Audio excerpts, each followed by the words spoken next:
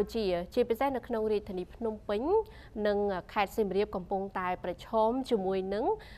ការរីករាលដាលនៅក្នុងសហគមន៍ដែលករណីវិជ្ជមាន បានរកឃើញជារៀងរាល់ថ្ងៃជាបន្តបន្ទាប់ដោយហេតុនេះហើយយើងក្រឡេកទៅមើលវិធានការសំខាន់បំផុតនៅក្នុងអំឡុងពេលនេះគឺការធ្វើចតាលិស័កឲ្យបានត្រឹមត្រូវពីអ្នកដែលជាប់ពាក់ព័ន្ធទាំងផ្ទាល់និងប្រយោលជាមួយនឹងអ្នកវិជ្ជមាននៅជំងឺ Covid-19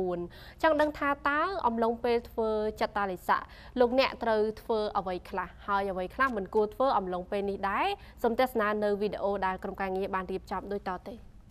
តើអ្វីខ្លះត្រូវធ្វើនិងមិនត្រូវធ្វើក្នុងអំឡុងចតាលិស័ករយៈពេល14ថ្ងៃត្រូវធ្វើ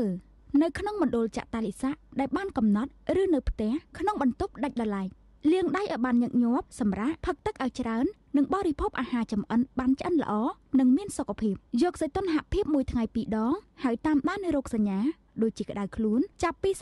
37.5អង្សាសេហូរសម្បោឈឺបំពង់កឬពិបាកដកដង្ហើមប្រសិនបើអ្នកមានរោគសញ្ញាដូចខាងលើឬពិបាកដកដង្ហើមសូមទូរស័ព្ទទៅកាន់លេខ115ភ្លាម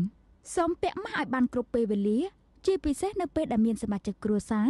ឬបុគ្គលណាមកជួបអ្នកឬនៅពេលអ្នកនៅក្នុងបន្ទប់តែមួយជាមួយគាត់និងនៅពេលអ្នកត្រូវការធ្វើដំណើរទៅមណ្ឌលសុខភាពឬមន្ទីរពេទ្យបង្អែករក្សាទំនាក់ទំនងជាមួយគ្រួសារនិងមិត្តភ័ក្តិតាមការផ្ញើសារការហៅតាមវីដេអូឬទូរស័ព្ទមិនត្រូវធ្វើកុំចេញពីមណ្ឌលចាត់តល័យស័កឬពីផ្ទះរបស់អ្នកពេលមិនមានការអនុញ្ញាតកុំអញ្ជើញភ្ញៀវមកលេងផ្ទះចូលរួមក្នុងសកម្មភាពសង្គមឬប្រមូលផ្ដុំគ្នាធ្វើកីឡាការជួបជុំគ្រួសារ ការជួបជុំបែបសាសនានានាឬពិធីអាពាហ៍ពិពាហ៍ជាដើមកុំញ៉ាំអាហារភេសជ្ជៈប្រើបរិខាផ្ទះបាយកែវកម្រាលពុក ឬកន្សែងរួមគ្នាជាមួយអ្នកដទៃកុំប៉ះភ្នែកច្រមុះឬមាត់របស់អ្នកដោយដៃមិនស្អាត ជាពិសេសបន្ទាប់ពីចេញពីបង្គន់កុំប្រើប្រាស់បន្ទប់ទឹក បង្គន់នៅក្នុងមណ្ឌលចាត់តាលិស័កឬនៅក្នុងផ្ទះដោយមិនបានសម្អាតមុននឹងក្រោយពេលប្រើប្រាស់រួចម្ដងម្ដង។